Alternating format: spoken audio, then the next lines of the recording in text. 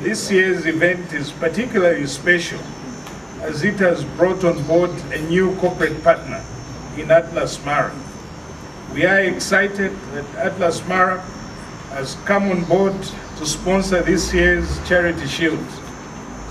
This speaks to our executives' open door policy to various partners who are interested in contributing to the development of the game.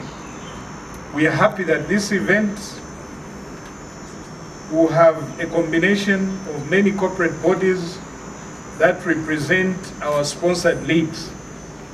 Atlas Mara has responded to our call to come on board and be part of the football revolution currently underway. This year's event brings together two sides that have won their respective leagues with 13-time champion Nkana representing the MTN Super League, while Indeni is representing the Eden University National Division 1 League after earning promotion to the MTN League.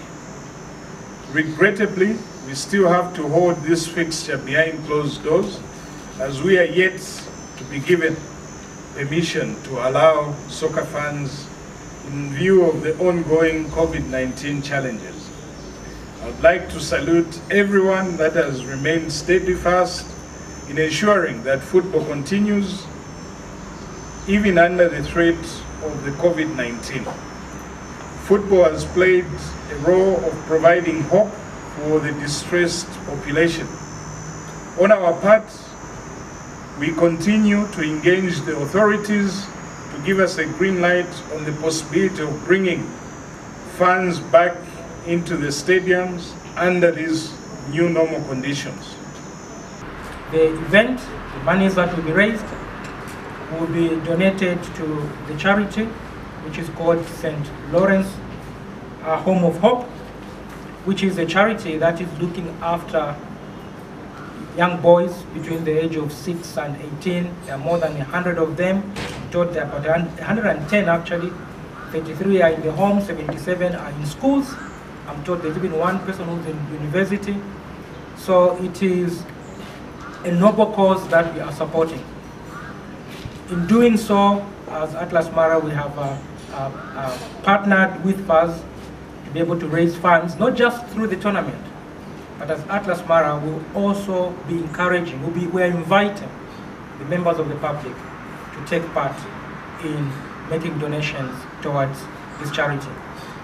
As the first president said, this event is, I mean, the tournament for this year will be, you know, you know it, it will not have funds in the stadium. So it limits the opportunities for fundraising.